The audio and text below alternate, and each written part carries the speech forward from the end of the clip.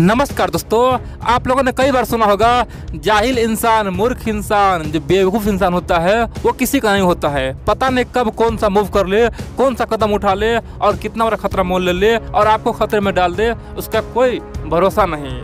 लेकिन बड़ी बात तो यह दोस्तों, इस्लामिक दुनिया में आज संतावन कंट्री है और संतावन कंट्री में तमाम जिसको लगता है कि ये आतंकवादी केवल दूसरे के लिए है, यानी कि इजराइल के लिए है, अमेरिका के लिए है, भारत के लिए है, यानी कि ये जो आतंकवादी है केवल यहूदियों के लिए है, हिंदुओं के लिए है, ईसाइयों के लिए है, हम लोग को कोई कुछ नहीं करेगा, क्योंकि हम लोग तो भाई भाई है, हम लोग तो एक ही धर्म को मानने वाले हैं। दोस्तों ओ ऐसी कंट्री का ये मानना है, लेकिन आज साबित हो गया कि ये आतंकवादी जब उसके हाथ में अपना पावर आता है ना, वो किसी को नहीं गुदानता है। चाहे कोई भी धर्म का हो, किसी को भी टपका सकता है। दोस्तों, ये साबित हो गया है। दरअसल, सुनने को आ रही है, उज्बेकिस्तान और तालिबान में एक भयंकर लड़ाई हुआ है। दोस्तों, बड़ी बात है, पूरे दुनिया चौक गया है। क्योंकि उज्बेकिस्तान एक मुस्लिम कंट्री है, और बड़ी बात तो यह है दोस्तों, तालिबान और अफ़गानिस्तान भी मुस्लिम कंट्री है। इसीलिए दुनिया हैरान हो गया है, और आज भारत का कहना एक एक परसेंट सत्य हुआ है। दोस्तों, भारत ने जो कहा था ना,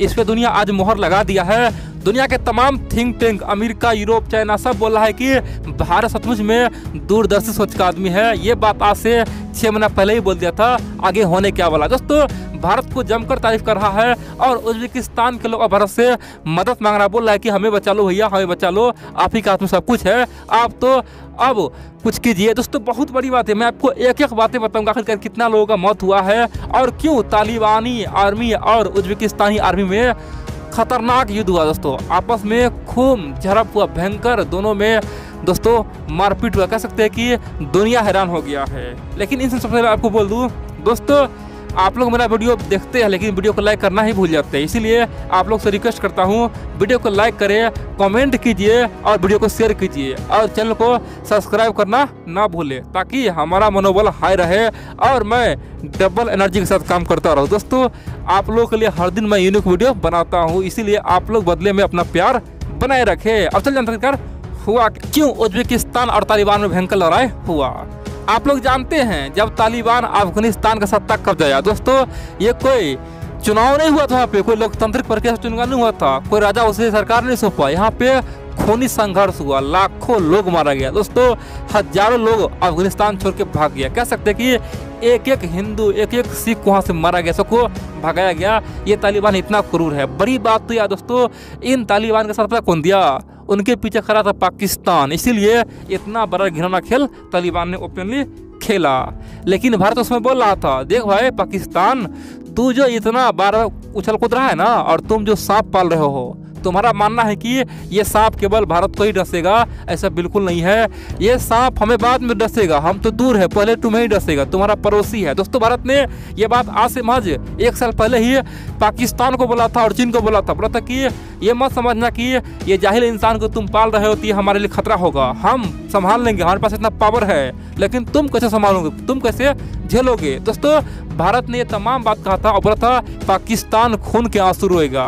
लेकिन दोस्तों, पाकिस्तान समय खूब हंस रहा था बोल रहा था कि, अरे भैया, भारत तो डर गया, तालिबान सत्ता में आ चुका है, अब तो जिहाद शुरू होगा, कश्मीर हमारा है, भारत के लोग डर गया है, इसीलिए ऐसा वैसा बोल रहा है। लेकिन दोस्तों, आज बिल्कुल ही सत्य हुआ है। हाल ही में क्या हुआ है? हाल ही में तालिबान भर से पाकिस्तान का झगड़ा खतरनाक हुआ। दोस्तों, कई सारे पाकिस्तानी आर्मी मारा गया और पाकिस्तानियों को दौरा दौरा के दोस्तों, पाकिस्तान में घुस घुस के दुरंत लाइन पे तालिबान वालों ने मारा है। पाकिस्तान ऑलरेडी दोस्तों, सदमे आखिरकार ये हुआ क्या? इतना ही नहीं, हाल ही में यही तालिबान ने चीनियों को दोस्तों औका दिखाया है। दरअसल, जो विगर मुसलमान, खासतौर पे अफ़गानिस्तान में भाग भाग के आया है, उनको अब मानव बब बना दिया तालिबान और बोल रहा है कि तुम लोग चीन में एंट्री करो। दोस्तों अब जानते हैं चाइना और अफ़गानिस्तान का बॉर्डर मिलता है। तो तालिबान अब चीन में मानव बम भेज रहा है ताकि विगर मुसलमान आज़ाद हो। और बड़ी बात तो याद तो चीन इसीलिए सदमे में है और चीन ने हाल ही में कहा था कि अब तालिबान को ख़त्म करना होगा, उससे बड़ा प्रतिबंध लगाना होगा यूएन को कुछ करना होगा। भारत, अमेरिका, हम लोगों को एक होकर कुछ सोचना होगा दोस्तों चीन भी इस मुद्दे पे खूब बोला और पाकिस्तान भी इस मुद्दे पे खूब बोला।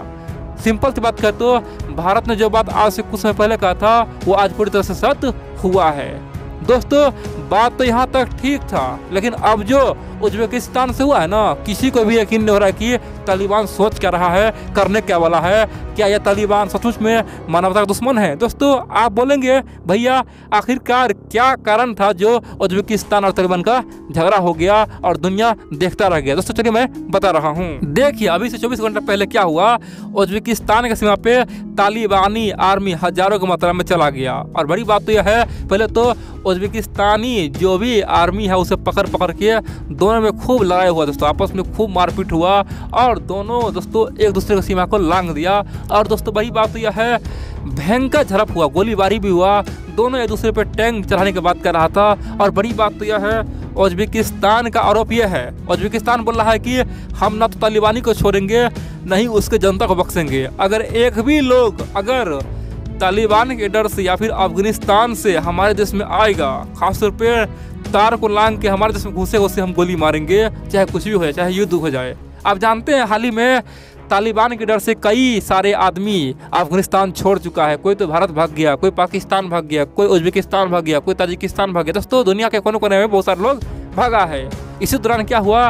कई सारे जो अफगान सैनिक थे वो भी उज्बेकिस्तान कुछ समय भाग गया, पहले भाग गया था।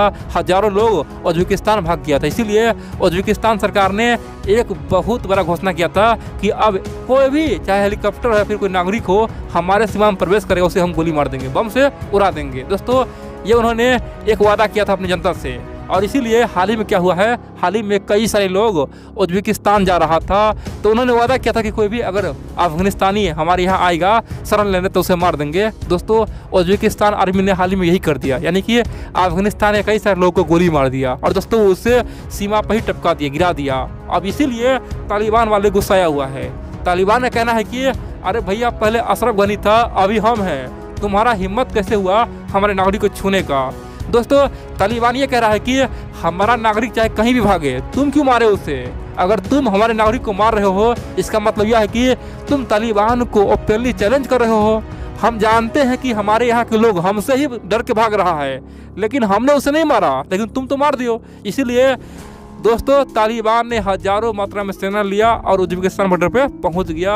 और बड़ी बात तो यह इसीलिए भयंकर झड़प हुआ दोनों में लड़ाई हुआ और उज्बेकिस्तान दोस्तों धक्के मार मार के सीमा के अंदर ढकेल दिया। तालिबानी कह रहा है कि तुम लोग युद्ध करोगे ना और हम युद्ध करते हुए करते जवान हुए हैं। तालिबान बोल रहा है कि युद्ध हमारा पैसा है युद्ध करने में हमें मज़ा आता है। तुम लोग तो केवल बॉर्डर का सीमा करने के लिए तुम लोग युद्ध करते हो।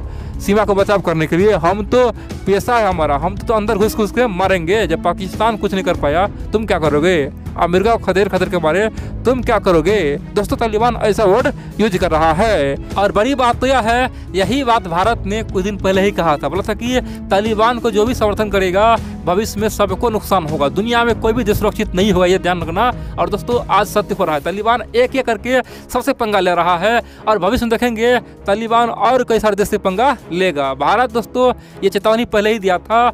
और अंत में पूरे दुनिया उसका दोषी पाकिस्तान को मांगेगा। दोस्तों, पाकिस्तान पे अब एक और बड़ा प्रतिबंध लगने वाला है, क्योंकि पाकिस्तान ने जो पैरवी किया तालिबान का ना, दोस्तों, एक समय ऐसा आएगा ना, जब पूरे दुनिया तालिबान से परेशान हो जाएगा। देखेंगे, बहुत बड़ा मीटिंग हुआ और उस मीटिंग में सब ओपनली पाकिस्तान और चीन को सबसे बड़ा दुश्मन मानेगा।